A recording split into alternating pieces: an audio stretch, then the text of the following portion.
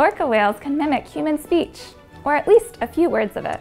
A female killer whale named Wikie was able to copy phrases like hello, bye bye, and even the calls of a wolf's howl and an elephant's trumpet.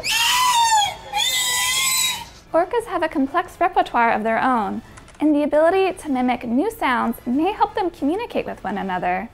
Meanwhile, naked mole rats don't die of old age, unlike every other mammal. In humans, for instance, the risk of dying doubles every eight years after the age of 40. But on any given day, an average rat's chances of dying are 1 in 10,000, whether that rat is 30 or 90 years old.